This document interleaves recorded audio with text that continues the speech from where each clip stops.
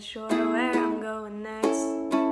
I'll try to use a map, but with directions they tend to be bad, so I'll use GPS and pray for the best. I've got so many years to flesh this out and be what I wanna be, but it's confusing to say the least. No perception of time or space or distance or weight, and I think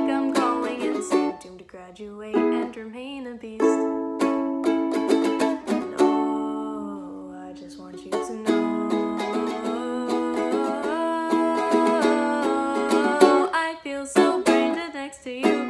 It's not like you intended to hurt me or make me feel this way. And I'm not trying to complain, but it just sucks to try and explain why I feel like this every day. One, two, three, four.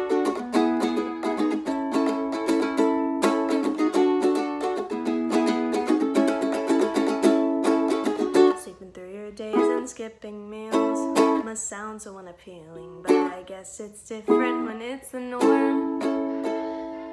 Sinking deeper into whatever this is without a hint of reflection. Can't tell if this is the calm or if this is the storm. Given everything I've got, equates to about a